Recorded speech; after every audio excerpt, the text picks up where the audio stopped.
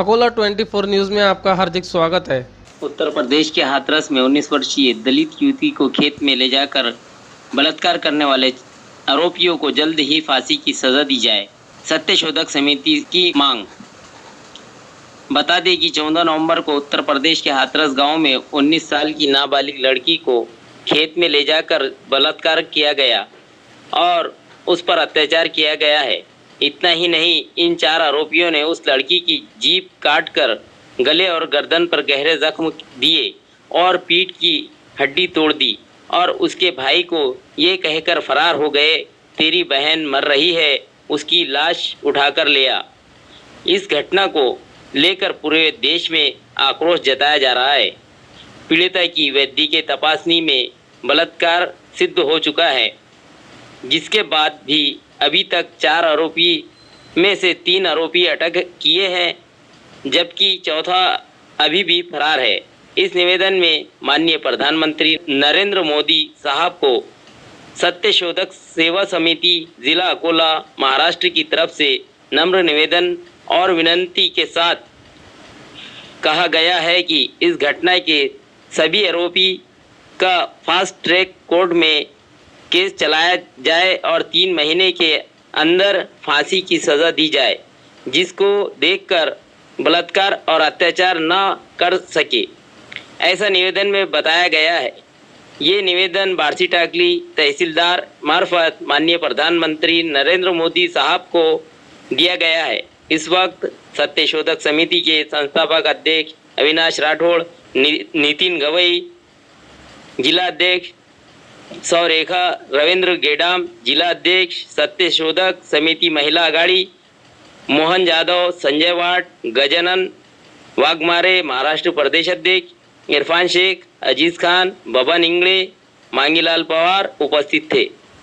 आज आपने जो निवेदन दिए वो किस बिना पे दिए बताएँ? आज बारसी टाकली यहाँ पे सत्य शोधक सेवा समिति और महाराष्ट्र राज्य ग्रामीण पत्रकार संघ।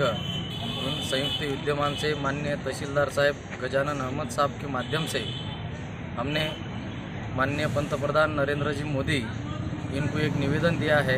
उत्तर प्रदेश में 14 सितंबर 2020 को 19 साल की युवती, जिसका नाम मनीषा है, ये एक दलित समाज से, पिछड़े समाज से आती है। इस युवती के ऊपर जो खुद को उच्च जाति के समझते हैं, ऐसे चार युवकों ने उसके ऊपर खेत में ले जाके जो बलात्कार किया ये अतिशय निंदनीय बाब है और इस भारत देश की घटना को कालिमा फांसने वाली बात है। इसके विरोध में हमने माननीय नरेंद्र जी मोदी साहब से, तहसीलदार साहब के माध्यम से हमने निवेदन दिया है कि वो जो चार आरोपी है, वो चार आरोपी में से तीन आरोपी को अटक किया गया है और उसमें का एक आरोपी आज भी फरार है। उस आरोपी आरोपी को पकड़ के इन चारों आरोपियों को फास्ट ट्रैक कोर्ट में इस मामला को दर्ज करके उनमें से चारों आरोपियों को फांसी की सज़ा दी जाए, ये मांग हमने आज महाराष्ट्र राज्य ग्रामीण पत्रकार संघ और सत्यशोधक सेवा समिति के माध्यम से हमने आज यहाँ पे रखी है।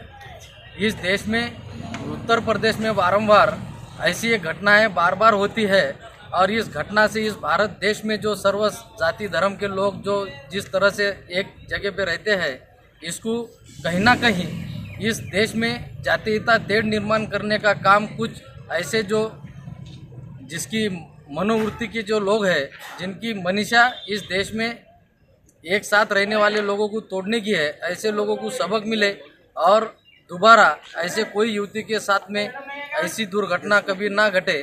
इसके लिए हमने माननीय नरेंद्र मोदी जी साहब से हमने आज निवेदन के माध्यम से हमने डिमांड रखी है। अकोला 24 न्यूज़ को सब्सक्राइब करें और बेल आइकन का बटन दबाना ना भूलें।